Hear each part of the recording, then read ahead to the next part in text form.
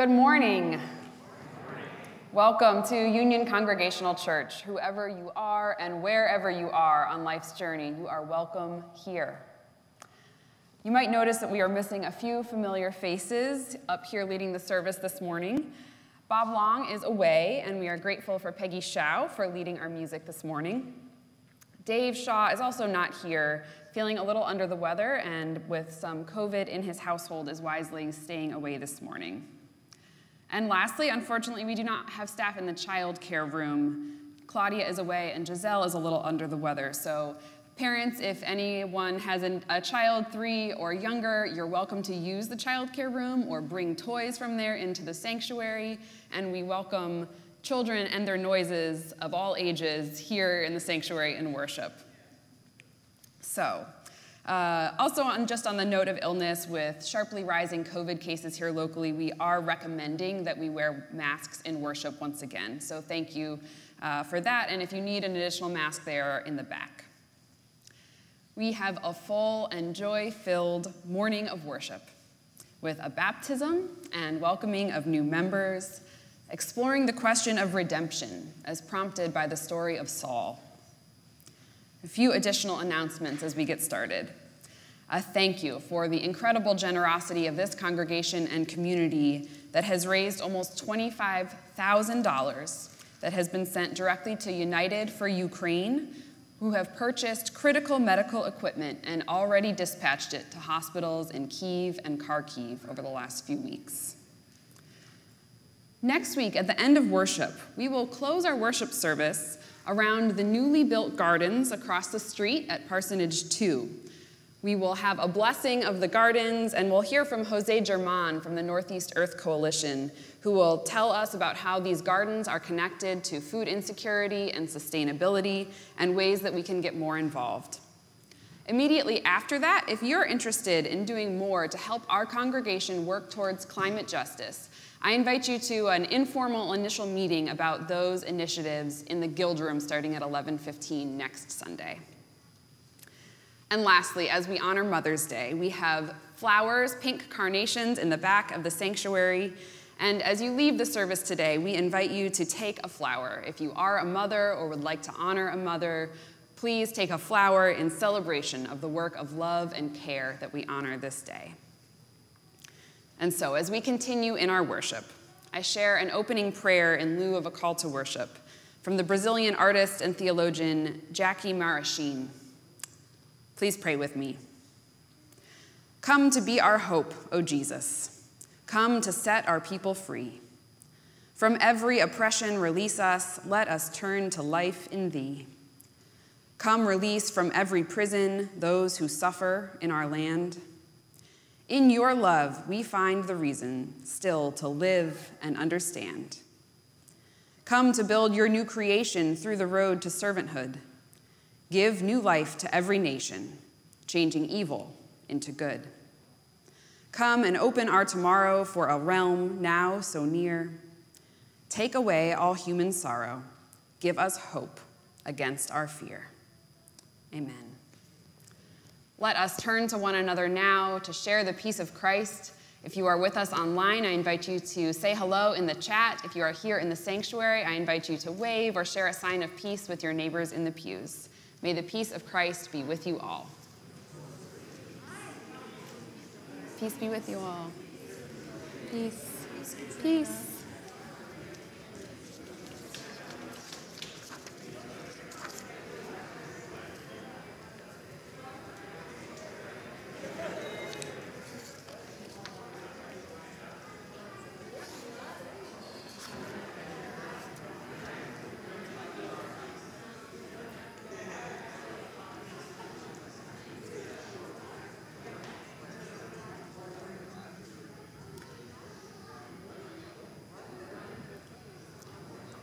Having greeted one another with a sign of peace, we have the special opportunity this morning to celebrate another sign of peace and grace in our midst.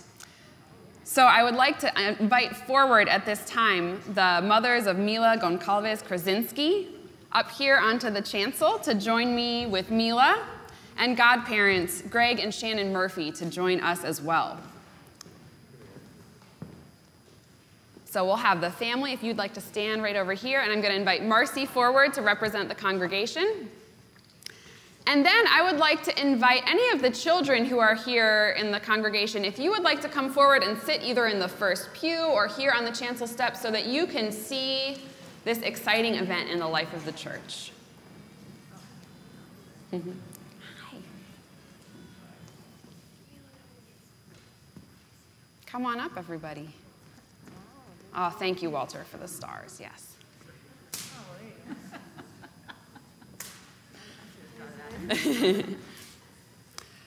so, friends, the sacrament of baptism is an outward and visible sign of the grace of God. Water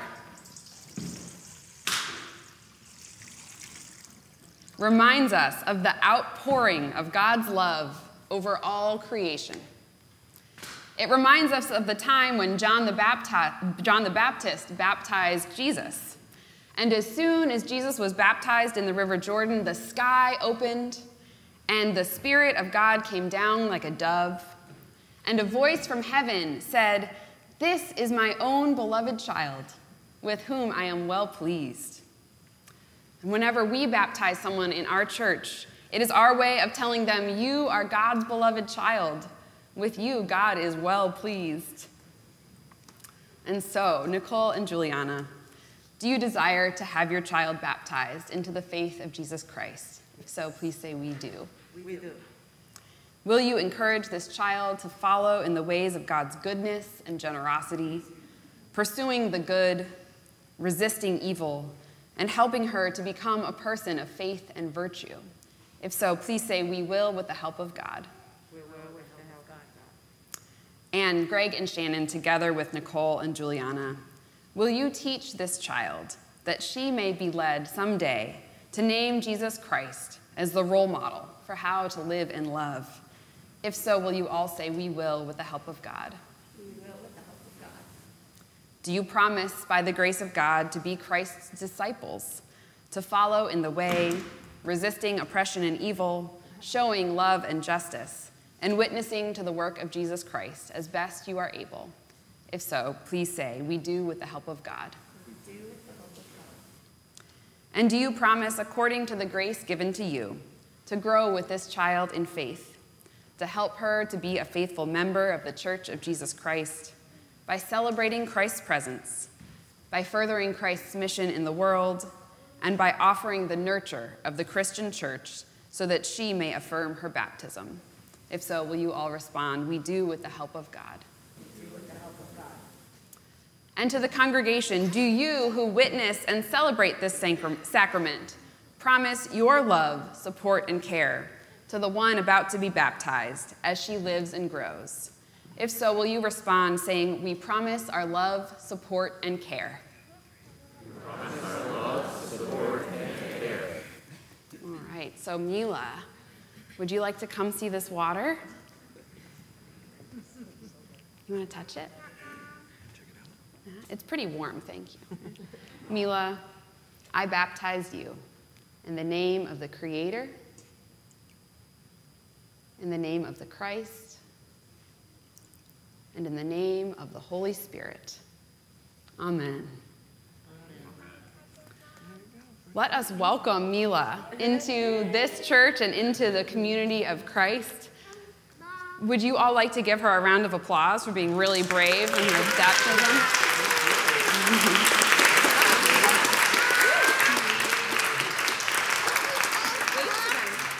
And so I invite the children of the church, if you would like to lead our way down the aisle towards learning centers. And I think Marcy has a gift on behalf of the congregation, the parents. And as, as we begin our hymn in a moment, I'm going to invite the parents and godparents and Mila to uh, walk down the aisle with me so that everybody can uh, wave and congratulate Mila and you all on this moment. Let us sing. Mm-hmm. You want to come say hi to everybody?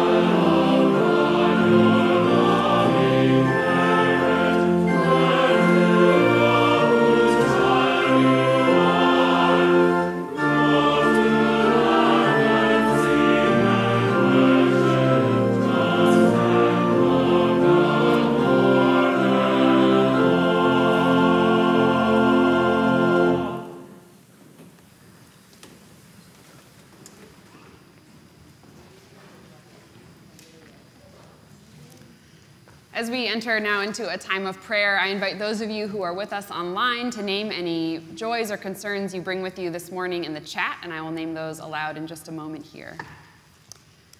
This morning, we pray with, thank you, Ted. Mm-hmm. We pray with Joy Mishkin and her father Mike as he enters hospice care. We share prayers from Karen Ermler for her niece Dawn, who is undergoing chemotherapy infusion. We share a prayer of gratitude to those who donated groceries and meals to the Family Promise families this week. Six families, 18 people were fed by our congregation on Tuesday. Are there other joys or concerns that those of you who are here in the sanctuary would like to name aloud at this time? Yes, Ellen.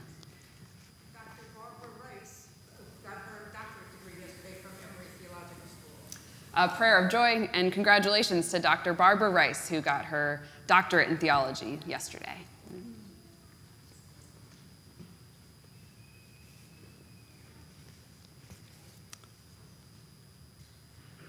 Let us look to see what prayers our friends online have offered this morning.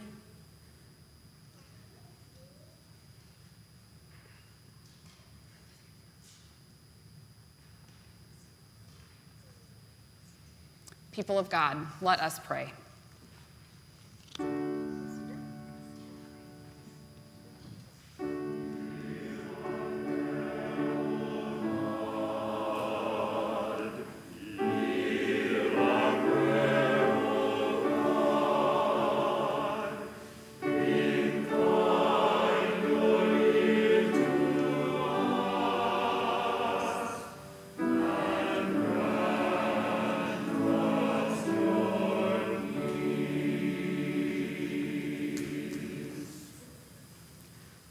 Holy God, on this Mother's Day, we start with gratitude for you, creator and protector of all creation. Gratitude for all people who provide care, who have labored for new life, whether anyone calls them mom or not. We lift up and celebrate all those who mother, remembering and mourning to those we have lost remembering and holding in our loving prayers all those for whom this day is hard, including those who have lost a mother or child or spouse, those who long to be mothers who have not been able to, and those struggling in motherhood. As we hold the fullness of this day, we question a society that chooses flowers and chocolates over policy and protections. And God, we hold in our prayers all those whose autonomy and selfhood has been diminished this week with the threat of the overturning of Roe v. Wade. As we celebrate motherhood, let us not turn it into a weapon that would limit the human rights of any. Grant us the courage to continue working for full access to health care for all people and an end to poverty racism, and all that separates us from fullness of life in God's kingdom. God, we pray for all those we have named this morning and those we hold in our hearts. We pray for ourselves and the world, that wherever there is sin, there may be redemption. Wherever there is shame, may there be grace. Wherever there is isolation, may there be reconciliation and that wherever God has created a way, may we have hearts and minds that are open enough to follow it. Let us pray together as Jesus taught us. Our Mother, who art in heaven, hallowed be thy name. Thy kingdom come, thy will be done, on earth as it is in heaven. Give us this day our daily bread, and forgive us our trespasses as we forgive those who trespass against us. And lead us not into temptation, but deliver us from evil.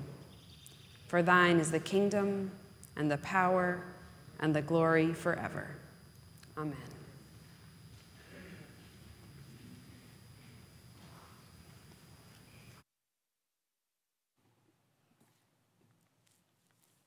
Hi. The scripture reading today is from Acts 9. Meanwhile, Saul, still breathing threats and murder against the disciples of the Lord, went to the high priest and asked him for letters to the synagogues at Damascus, so that if he found any who belonged to the way, men or women, he might bring them bound to Jerusalem. Now, as he was going along and approaching Damascus, Suddenly, a light from heaven flashed around him. He fell to the ground and heard a voice saying to him, Saul, Saul, why do you persecute me? He asked, Who are you, Lord?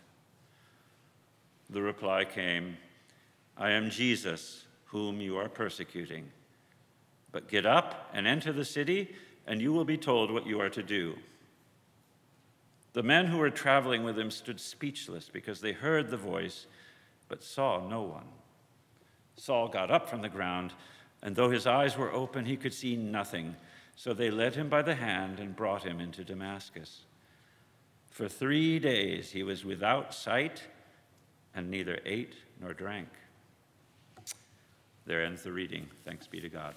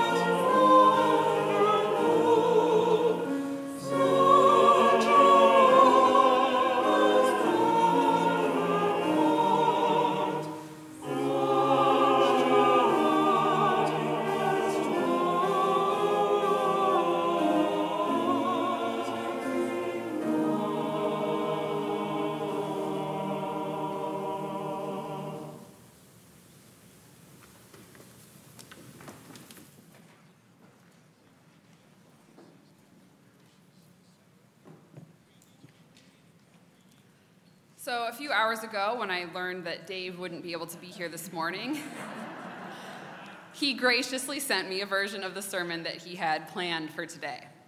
So, if this is the greatest sermon you've ever heard, I'll take all the credit, and if you don't like it, those were Dave's parts. Who doesn't love a good redemption story? In the book of Acts, we begin chapter 9 with a note that Paul of Tarsus, still known as Saul at this point, is still breathing threats and murder.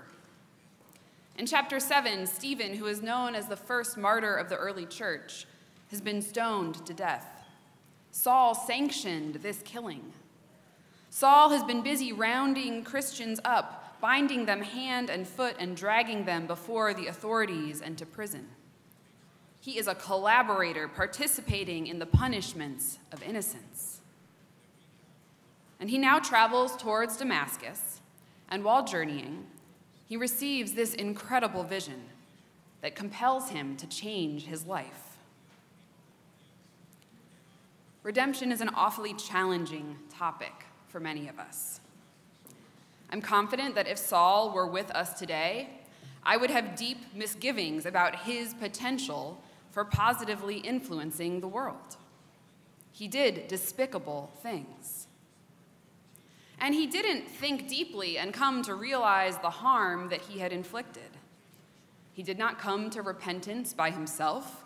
He did not even apologize or beg for forgiveness, as far as we know. And also, that's one of the primary challenges when it comes to redemption. It may sometimes be quick and clean for the person who is being redeemed, but often not quite so quick and easy for those of us who have been harmed.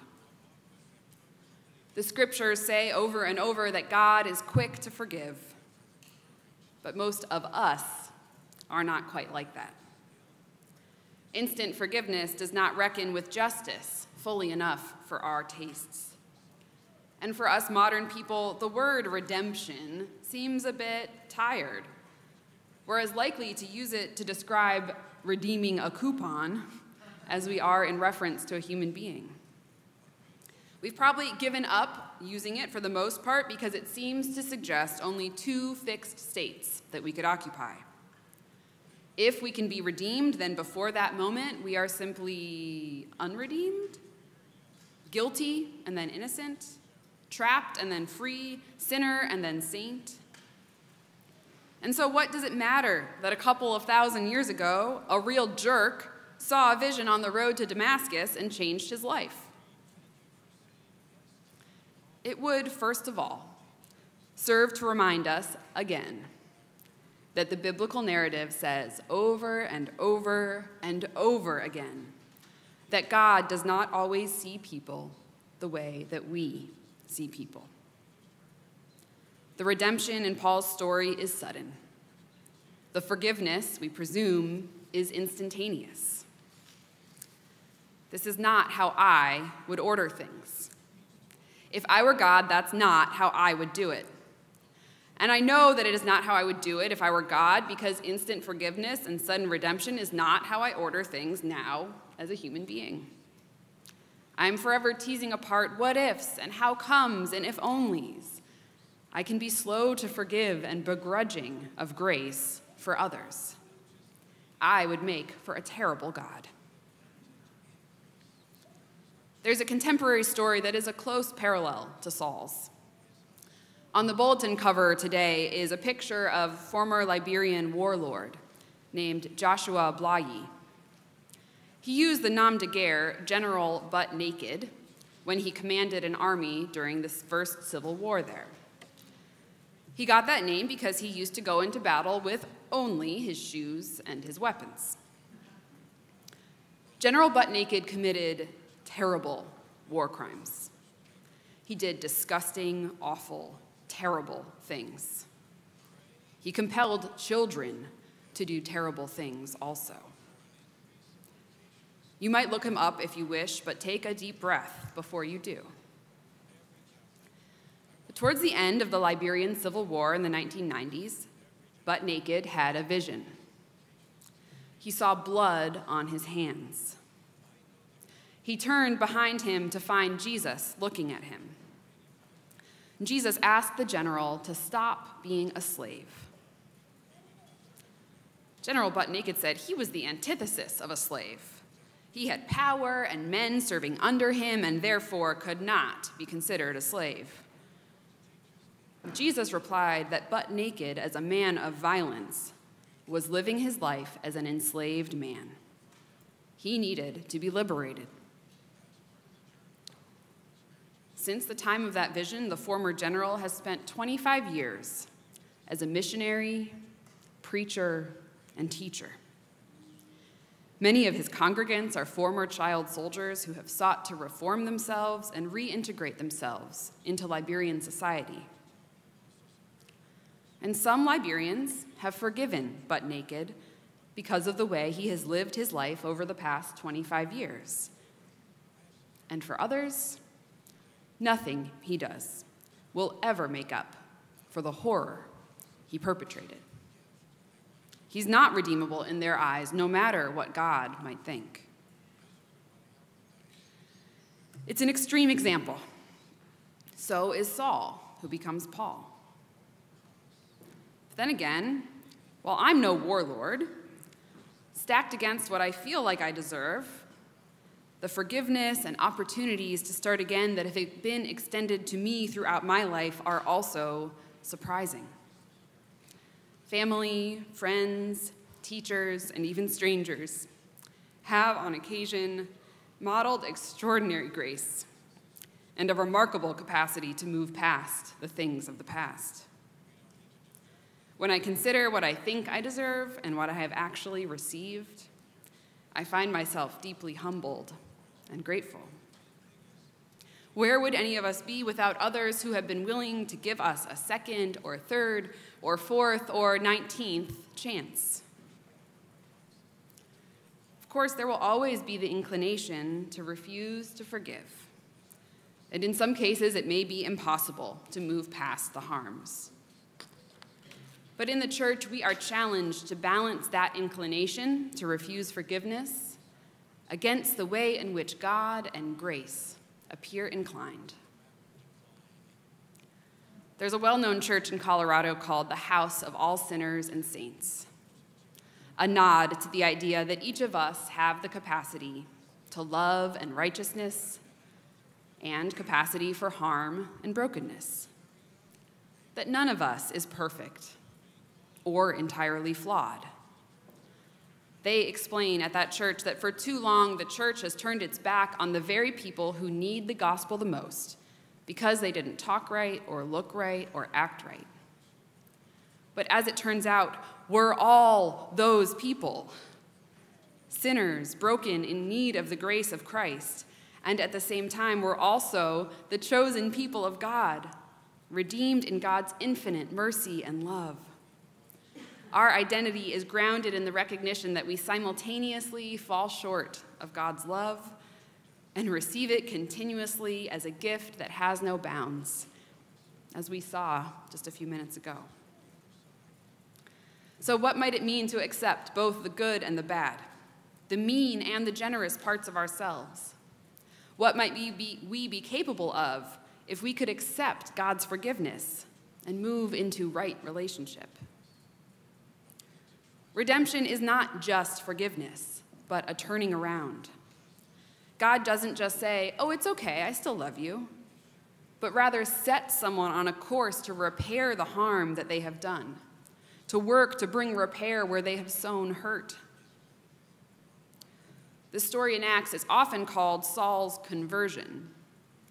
But it wasn't really a religious conversion per se, but rather an intervention into abusive behavior a call in to repair the harm and begin to contribute to a positive movement.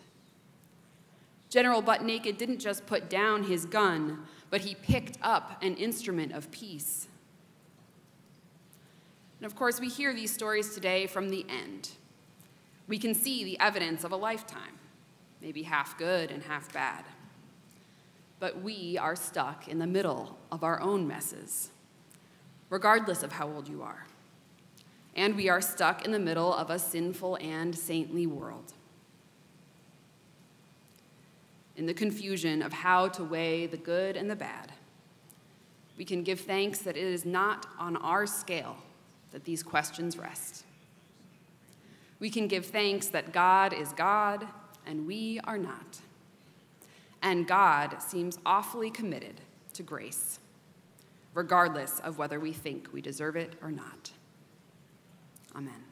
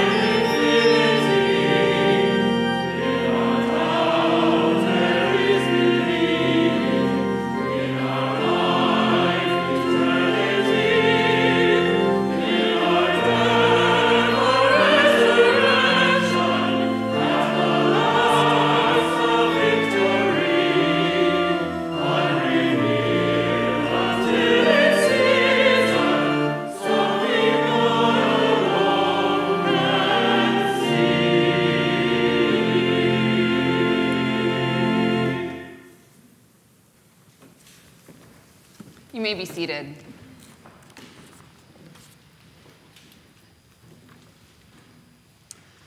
As I mentioned at the start, it is an especially joyful day in the church when we can celebrate both a baptism and welcome new members into our community.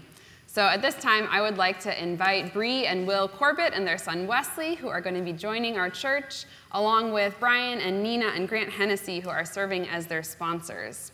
Let us welcome them up to the chancel.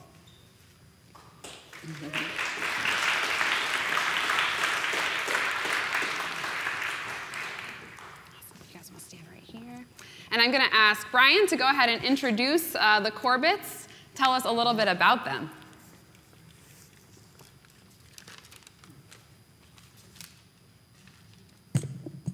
We're excited to introduce the Corbett, fam- Corbett family Will, Bree, and sons Wesley and Graham. They lived in the area for three years after moving to Glen Ridge from Manhattan. Will works in finance in the city, and when he's not busy working and commuting, he enjoys golfing and being outdoors. Will grew up in Pittsburgh, where his family was active in the Methodist Church. Bree is a former marketing professional who's now a stay at home parent. She loves cooking, reading, and fitness. Grew up in Bucks County, Pennsylvania, attending a Presbyterian church. Both Will and Bree attended Virginia Tech, go Hokies, and are passionate supporters of education and opportunities for young professionals. They also look forward to getting involved in the church's outreach efforts in the community, particularly, particularly those pertaining to food insecurity here in Essex County. The Corbetts have been eager to find a church home and community after dabbling in churches in the city and zooming around Montclair during the pandemic. They're so happy to be joining Union Cong and look forward to meeting all of you.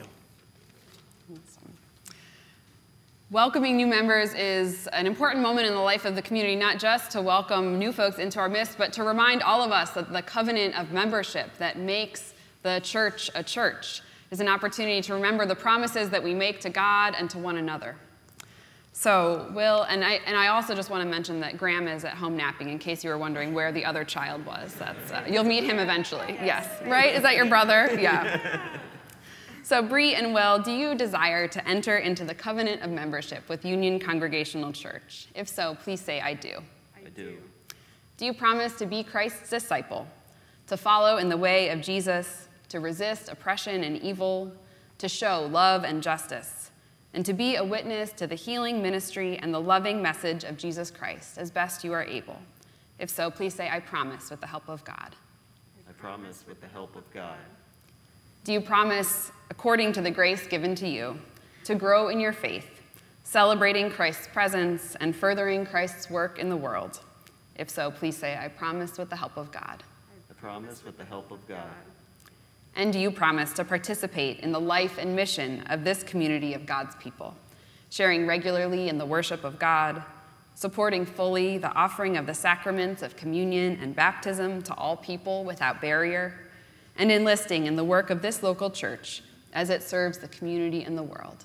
If so, please say, I promise with the help of God. I promise with the help of God. And will you all, the members of Union Congregational Church, please rise as we express our welcome and affirm our mutual ministry in Christ, in Christ, responding with the response that is printed in your bulletin. We welcome you with joy in the common life of this church. We promise you our friendship and prayers as we share the hopes and labors of the Church of Jesus Christ. By the power of the Holy Spirit, may we continue to grow together in God's knowledge and love walking together on life's journey. Welcome to Union Congregational Church. Thank you.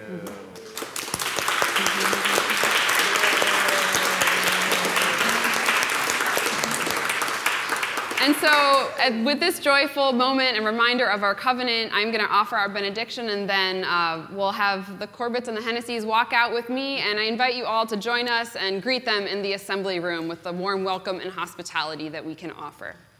So, people of God, may you go this day renewed by the promises of a God who sees each person as God's own beloved child. May you know deeply the grace that is offered to you simply by being you. And may you be reminded of the opportunity to live more fully into that covenant with God and this community. Go in peace this day. Amen.